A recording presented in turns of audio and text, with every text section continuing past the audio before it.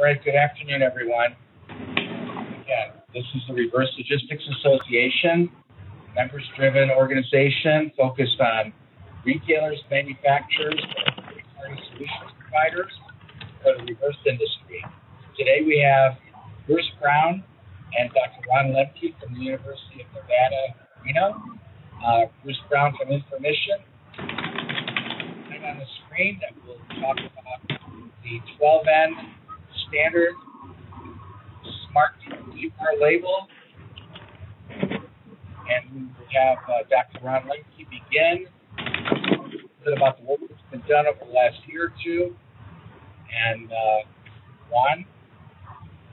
Okay, thanks, Tony, and thanks to everybody uh, for uh, for calling in today. So yes, I'm I'm at the University of Nevada. Uh, I'm a supply chain guy, uh, background in computer science and industrial engineering, and I've been doing reverse logistics for more than 20 years. Um, and been on the RLA Standards Committee for I don't know six-ish years maybe. And we're very very excited about this 12N project, uh, and uh, looking forward to telling you all about it. Um, I we will not get into any technical details today. We're just going to stay focused on how you could use this and why you would care. But uh, hopefully, as we can convince you of the value of it, when you ultimately have uh, I'm happy to answer them because I've uh, done a, spent a lot of time on this. Uh, and then Bruce Brown will be presenting the majority of the presentation, and Bruce is with the InforMission Systems. Um, and they have developed the software that will make all of this this work. Um, develop creating the, the QR codes, allowing a company to manage and use these these two-dimensional barcodes uh, to carry a lot more information than has been previously available. So, hi, thanks, Ron. Um, so I'm Bruce Brown, and uh, Ron, can you can just just confirm that the slides are showing correctly? Yes, I'm seeing the slide just fine. Okay, great.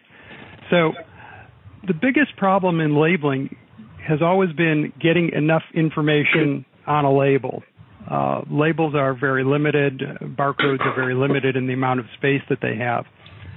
And today we're going to talk about a new American National Standards Institute ANSI standard that lets you put all the information you want on a label. But not only do that, also engage in, with your customers in new ways, increase sales, and simultaneously decrease costs. Sort of the ideal of all businesses. Um, so thanks very much for joining us with this overview of the 12N standard. As Ron mentioned, I'm Bruce Brown from InforMission Solutions. InforMission is part of the team that Reverse Logistics Association assembled uh, to look at standards. Uh, RLA developed the standard and now manages that standard for ANSI. And um, in shorthand, we'll just call it the 12N standard for today. It's got a kind of a longer name. Uh, InforMission supplies the software tools and systems that create and interpret the 12N labels. Uh, today we're going to take a look at how this standard helps consumers and manufacturers. We're also going to take uh, talk a little bit about how it helps sales and marketing, technical support, returns processing, repairs, refurbishing, uh, logistics, um, compliance with legal requirements for shipping and exporting product, products. There's a lot of information available. Uh, I will give you some references at the end of the presentation for some websites you can check uh, with more details. And uh, obviously, the thing that you're interested in may be a, very specific use, and uh, going to try and give you a great overview today. If you have questions, uh, feel free to click the chat button, and I will try and address them uh, during the presentation, or at the end we'll have a Q&A session, so you can uh, type them in in the chat window if you want now, or we can deal with them at the end of the session. Either way is fine. So,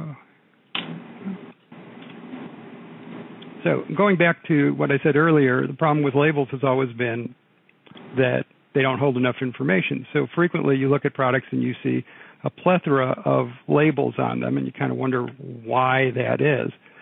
Um, and here's an example. Here's a single product that had eight different barcodes of various kinds on it on the left side of the screen. And um, you'll see, in particular in this example, that model number is in one barcode, serial number is another barcode. And then on top of that, model number shown twice, serial number shown twice. And you kind of got to wonder why that is. Well, the reason is that one, there's a limited amount of characters that each barcode can handle. Two, there's different barcode standards.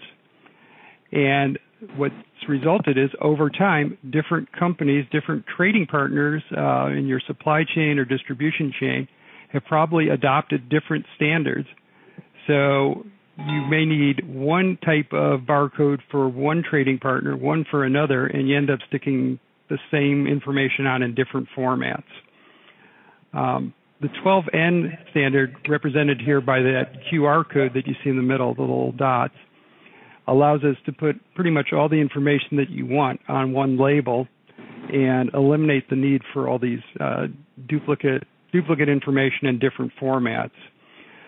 On top of that, it's using modern technology, so it can be scanned with a smartphone. So now you can start engaging with your customers in new ways.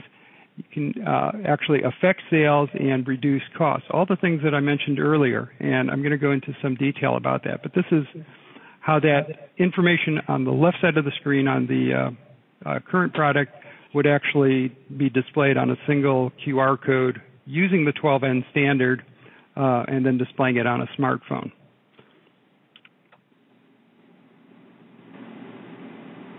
So that's oh okay. Um, so as for what kind of products it can be used with, these 12N labels can be used with pretty much any kind of product. Um, and they can even be used as a data format for electronically transmitting information about a product. So let's take a, a closer look. Um, this is an example of uh, another 12N formatted QR code in the uh, sort of upper left portion of your screen. And by the way, I keep referring to this as the 12N standard or 12N label.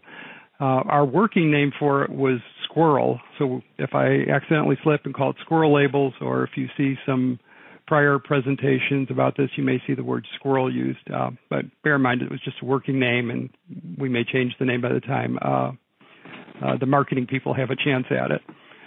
So even though the code uses a QR code, or the uh, example here uses a QR code, I wanted to also point out that um, the 12N standard works with other ways of representing data. So the 12N format can be used with traditional barcodes that you're used to seeing on products, can be used with RFID, uh, data matrix, and so on and so forth.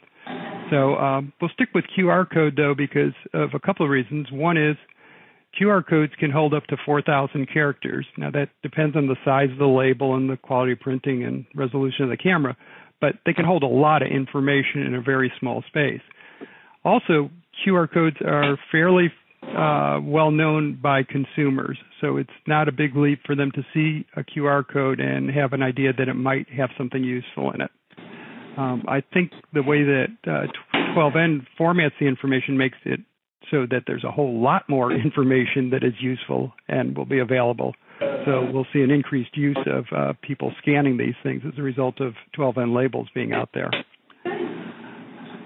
So uh, the app that's reading it on the smartphone is a free app that uh, we provide it from InforMission and available to everyone. And with the uh, with 12N, you can put whatever information you feel is appropriate on the label. So you might create different labels for the same product. Maybe one would be used on the product display, uh, sort of a retail product display. Another might be used on the packaging. Another might be used on the product itself. So the one on the retail display um, would have some information about the product itself, but it might also have a pre-sales button. So you see kind of two thirds of the way down on that phone says pre-sales question by touching that button, the shopper could speak directly to your uh, sales force or could be chatting with them, you know, and get answers to their questions. So if you think about it, for the first time, we have a way as manufacturers of directly affecting sell through in retail stores. Think of a shopper going through a big box store, thinking about buying a large screen television or a computer or something else where they might have some questions to um, that they'd like answered in order to decide whether to buy your product or perhaps a competitor's product. Typically, in my example of a big box store, there's not going to be a whole lot of support staff that's going to know the details about your particular product. Of course, your sales team does. So, with the pre-sales question uh, button on here, your potential customer is directly in contact with your sales team to answer any questions and hopefully uh, convince them that your product is the best one to get. You'll also notice um, that we have like on the third button on there, it says register your, in this case, IMAX. So register your product. So registration cards are typically included with products or there's a website to go to to register your product. But in the US at least, currently less than 1% of all consumers ever register their product. Now, obviously, this information is really useful to manufacturers because they'd like to know who has their product in case of recalls, in case of warranty issues, um, in case of uh, uh, upgrades and trade ins and so on later on. So, by turning this into a single touch of a button to register the product, we make it so simple that we think that most products will end up being registered, which will build the relationship between the manufacturer and the um, and the consumer, and be better for both of them. Uh, you'll also notice the second button says extended warranties. So, uh, extended warranties are extremely lucrative for uh, the companies who are selling them. Uh, they, uh, but typically, if a customer doesn't buy the extended warranty at the same time they're making the purchase, they never buy it. On the other hand, companies do allow people to buy extended warranty after they've got the product home, sometimes even a year after because they, they have a warranty and they want to extend it out. So we provide a simple mechanism for uh, the customer seeing that and being able to register for and, and purchase an extended warranty. Um, one button I didn't show here, and remember you can have whichever fields make sense for your product, but one button uh, that I didn't include in this example is troubleshooting.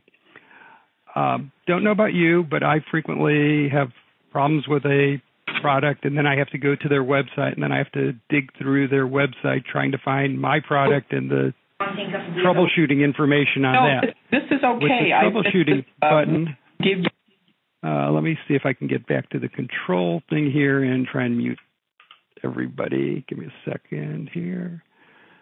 Um, bum, bum, bum. So, Tony, if you're there, can you tell me where that mute button, mute all thing is again? I guess somebody else muted it for me. Never mind. Um, so, with the troubleshooting button, the consumer is directed immediately to the appropriate page on your website to go through your troubleshooting techniques. And we've been told by a number of companies that a large number of the calls that they get for support are things that the consumer could have dealt with themselves, but the consumer doesn't or the customer doesn't want to deal with navigating their website and trying to figure out where the information is. On the other hand, you give them a single button that says, try this, try this, try this, you know, um, and it should reduce the number of calls, which of course saves cost. Also, you'll see that there's um, a uh, repairs and returns button so that we can more quickly facilitate the returns processing. Uh, we can even uh, hook this to systems so as to uh, create a shipping label uh, to return the product and, and, facilitate the whole RMA process. Um, recycling, another interesting area because at end of product life, your question always is with, with most products where do I send it? How do I recycle this thing? And in some cases, the manufacturer, uh, because of uh, regulations like RoHS and WEEE, or uh, for other reasons, will actually accept your product back. So this gives the manufacturer a, a place to indicate specific recycling information for their product, or uh, for us to fill in local recyclers who handle that particular kind of product. Uh, I mentioned upgrades and trade-ins earlier. It's a great place for manufacturers to include that information uh, so that they can retain customers in the future as the products reach their end of uh, useful life or there's just new products with new features on them. Uh, save the best for, I mean, the best. The one I love the most for last, and and that is technical support. Um, I love the technical support button because when I call technical support, I usually spend the first 10 minutes telling somebody how to spell my name, what my address is, my phone number, and then digging around trying to find a model number, serial number, and whatever else they need before they'll even start talking to me. With the technical support button uh, and feature, we have the ability to transmit to the technical support agent all of that information. So when they answer the phone, they can say, Hi, I see you're calling about your XYZ product. How can I help you today? And immediately start the phone call. Obviously, a huge savings in time uh, and reduction in frustration for everybody. So, to give you a little background, the RLA, uh, a trade association dealing with reverse logistics, created a standards committee, which in turn came up with this labeling standard, worked on it for several years, um, took it to ANSI, and it has now become an official ANSI standard, which RLA uh, manages that standard. So we're in charge of making sure the standard is kept up to date. For um, uh, a, an overview, the 12N format allows us to have an unlimited number of fields, once again, only limited by the amount of space that the symbology takes, meaning how how big a QR code you have to print in order to get it there, um, and and the quality of the printer and the quality of the scanner or the smartphone. Um, it's smartphone capable, so each one of these fields that I've been showing could just con- contain text, just regular information to be displayed. It could be a URL to your website. It could uh, engage the customer in a text message uh, with your support people or whoever. Could have images. So uh, each field has the ability to be whatever you need it to be for your application. On top of that, the standard has been developed with international use in mind from day one. It supports multiple languages, multiple currencies, and multiple units of measure. So, um, uh, standard, metric, what have you. Um, it also supports several ways of encrypting data, uh, which I can go into if there's any questions, but it's uh, the encryption can be done on a field by field basis. So you can have some information on your label that's available for your customers to look at and anybody in the world to look at, and some that is available in an encrypted way where only uh, you or your trading part- partners can see that. So some of the applications uh, that we've been talking about, and just kind of fast forward then. Um, we've talked about how already how it can increase sales uh, and improve the way you deal with your customers. Uh, we've also touched on the benefits of providing a simple way to register those products and improve returns processing.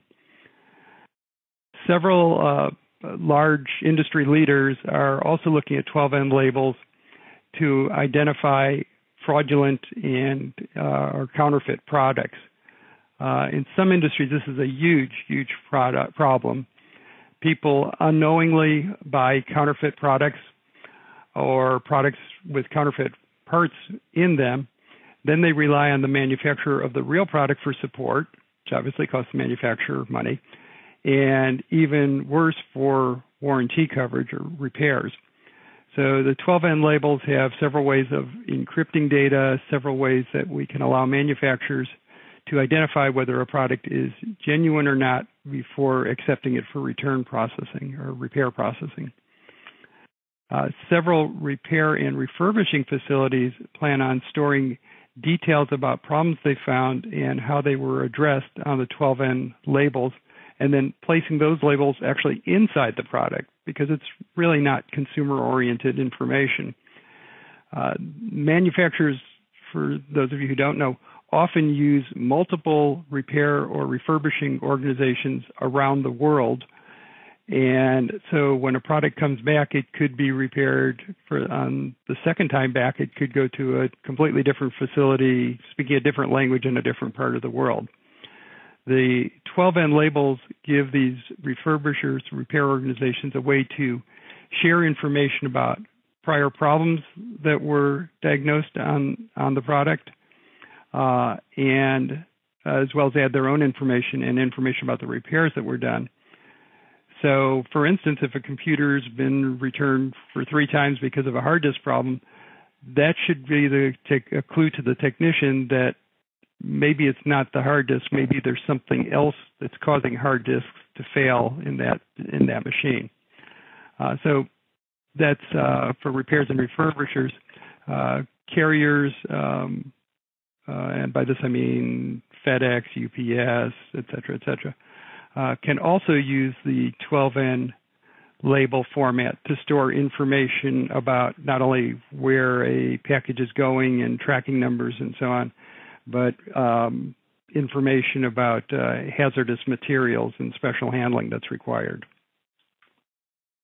And that was automated logistics.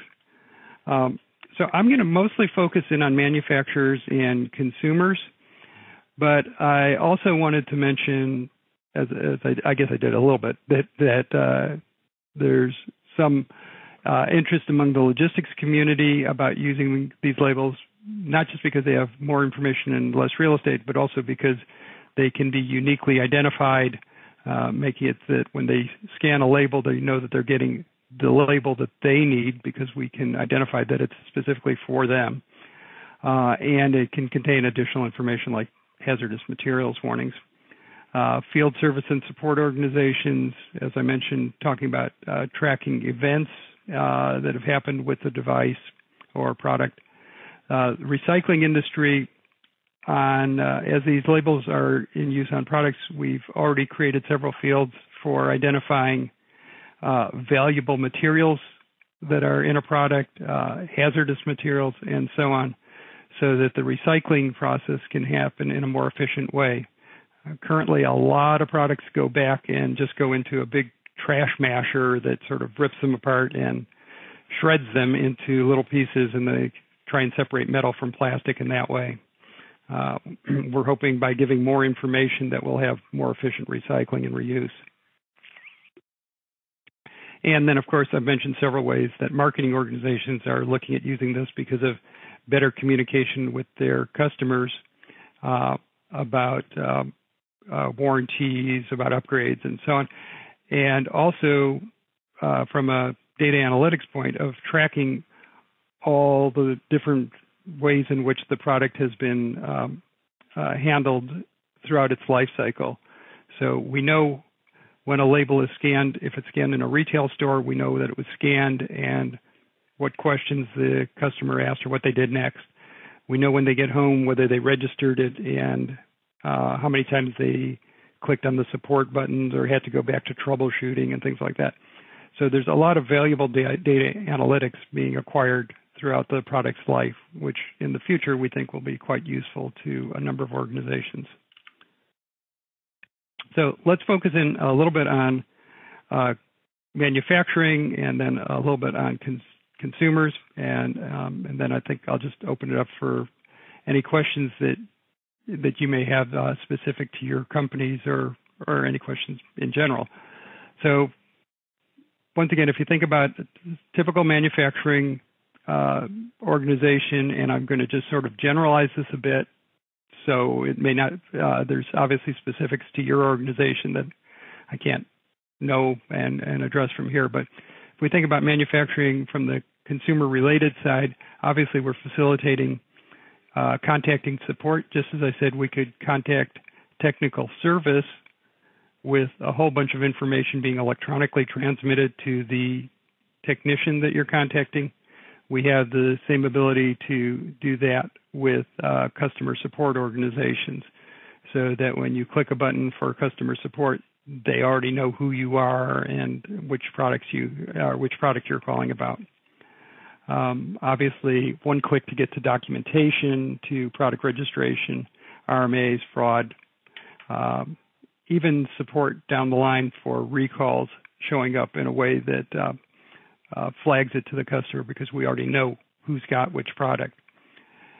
One of the interesting uses of these labels from an internal standpoint is what we call single scan. So, uh, large distribution facilities uh, like Amazon um, that are shipping thousands and thousands and tens of thousands of products um, every day, every hour, probably. Um, when they are they're scanning the product as it's flying on a conveyor belt out out the uh, back of the warehouse, their t- time is of the essence. So when they scan, currently they get the UPC number, which of course the UPC number can be included in the 12N label. It's just a small amount of space. Um, what they aren't getting is the serial number because that's on some other label, some other place on the box, and or may not be on the box. If they could get the serial number, then it's a way of associating that this particular product with this serial number went to this customer, which is usually useful for downstream warranty management. Uh, with our labels, obviously, that's possible. And we've mentioned that there's a lot of characters available on uh, uh, using the QR codes with these 12N labels. Um, and we think we'll skip that. Yeah, so I think we've hit enough on that part. Um, manufacturers benefit by consolidating labels and encrypting information uh, for fraud protection. They also benefit because they're getting a tighter relationship with their customers. And also, although I hadn't hit on this much earlier, with their channel partners, their supply chain. So there's an efficient way of transferring information between partners as well as uh, between consumers and uh, producers, manufacturers. Um, and last thing I mentioned was better consumer promotional scores, meaning they're going to do better from a marketing standpoint. So let's talk about the consumer perspective on this. And I, I know some of this is a little bit re- repetitious, but just as you put on your consumer hat, obviously the shopping experience is better because now you can have readily have more information so you can make a quicker decision uh, and you can have access to pre-sale support people to get information that you don't have uh, um, just by scanning the label. When you get the product home, it's easy to touch one button and know where the quick start manuals, et cetera, et cetera, are. Uh, so you can get through all that part of your product uh, setup. And this would include IoT devices, uh, which, uh, so Internet of Things, so the um, cameras that people are putting up around their houses and smart doorbells and all that kind of stuff. So there's potential there for making it much quicker to install and uh, get those things up and running as a result of using this sort of labeling standard. Uh, I talked about uh, single button click to get through to troubleshooting and technical support, simplifying the way that we can register products and, and deal with warranty claims. And also, we talked briefly about uh, recycling and disposal and giving people various options and telling them what's available based on their specific product. So overall, uh, and please, if you have questions, uh, you know, click on the chat button, or we'll just unmute the microphone in a few moments, and that way you can speak up if you'd like. Um, overall, the 12N labels reduce the number of labels, they increase sales, and they decrease cost. And in as part of doing this, we're finding a way to improve customer retention and cus- customer loyalty because we're having a better interaction with our customers throughout the entire product life cycle. Simultaneously, we're addressing issues of fraud and, and counterfeits, which are plaguing some very large companies these days. Uh, cutting down on, as I said, cost of technical support, customer service, and so on, and um, and hopefully making the entire product purchase, and product ownership, and end of life product uh, processes more enjoyable and uh, useful for everybody. So uh, I just wanted to mention two websites you can go to for some additional information. Uh, on the informission.com website, there's quite a few pages uh, with examples of how these labels can be used uh, by different organizations, different groups, different companies, different uses. So, may give you some additional ideas.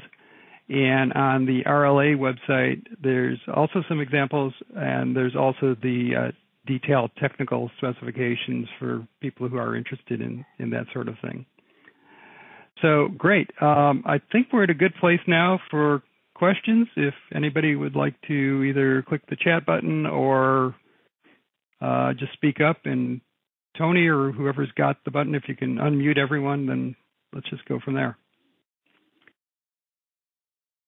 And I can see we have quite a few people uh, connected from different industries, different companies. So uh, if you have anything specific to your company, Tony, could you say something just so I know that everybody's unmuted?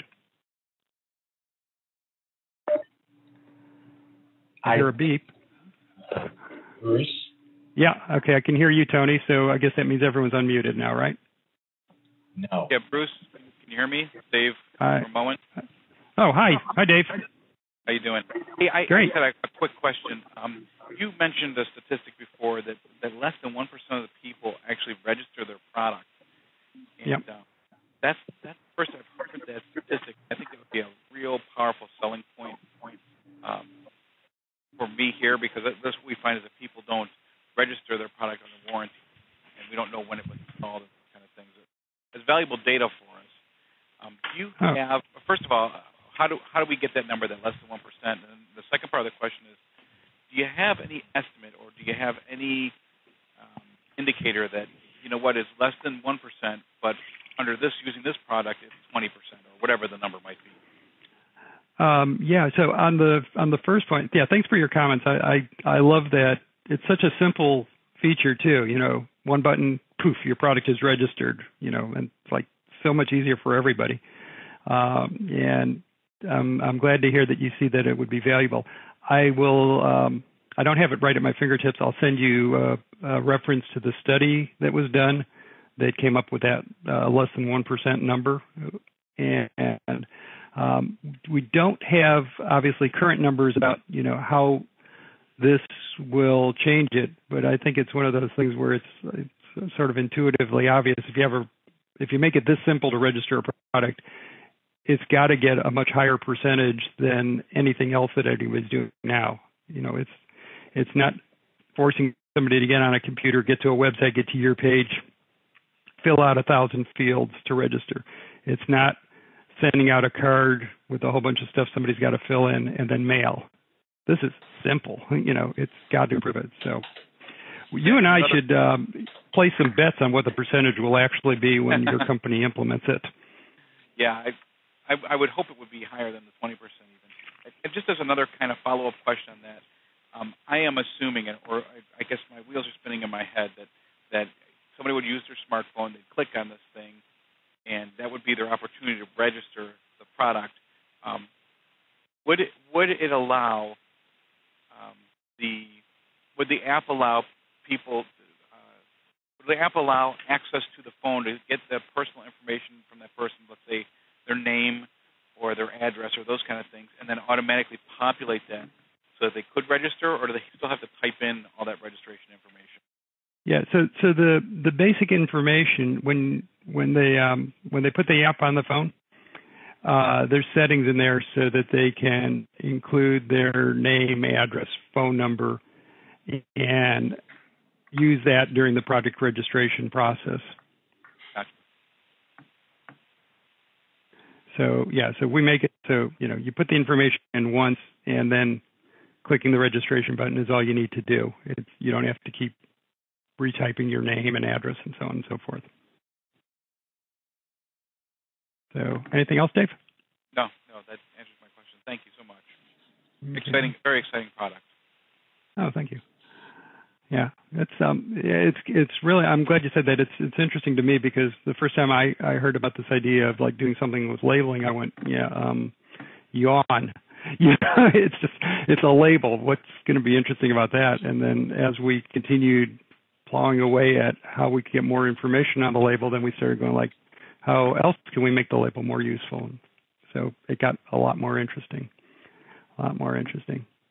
Um, okay, so I've got a couple of questions people have typed in, and let me go through those. Um, how many fields have you defined? So you saw on the on the phone example, for instance, back here, that there were I don't know 10 or something showing up on the phone. This scrolls, by the way, so there could be more. Uh, the Standards Committee has currently defined about 200 of these fields. So, like extended warranty is the name of a field, and it's got a special code that we use. Uh, so they've defined about 200 of those, and the process for adding fields is fairly simple. There's just a little form on the website. You fill it out, and the uh, standard committee reviews it and um, and then accepts it based on as long as it doesn't as long as it isn't the same as one they've already accepted. Uh, and that was to make it very simple because as we go into additional industries and uses, there's always special terminology and and additional fields needed. So when we talked to uh, people who were dealing with recycling, there was there were certain fields for them. Um, when we dealt with the folks who deal with export control, and if any of you have uh, done any commercial shipping internationally, uh, especially with uh, products that have restrictions on them. You know, you can you can ship this and this, but not this or this to this country. There's a lot of information that's used on that documentation, and so we created fields to put as much as possible on the label. Uh, obviously, we haven't gotten to the point yet of getting the export people on the docs to just take it off the label, but you can see where that would happen down the line too. So that was one question. Anybody else with questions? And otherwise, I'll I'll see about the ones that people have sent in on the chat. Okay. All right. Uh, there was another question asked about uh, whether the system can be used with RFID, and the answer is absolutely yes. Uh, so um, on the bottom of this screen, you see a little footnote says it can be used with RFID, uh, which are those little chips that um, they hide in things that store information, uh, like the size of a grain. Uh, near field communication, which uh, a bunch of you are probably familiar with because they're using that on phones where you tap the phone next to something or your credit card, you tap it on something and it communicates uh, data matrix and other things. These are these are called symbologies in the uh, technical jargon in the industry. Um, but the standard itself is a standard about how data is laid out, and we use QR codes as the primary example because they can hold so much information. So we can get a lot on there. But yeah, it will definitely work with RFID as well. As a matter of fact, I've got a RFID scanner here in my office, and we're working on a demo of that. So, uh, any other questions?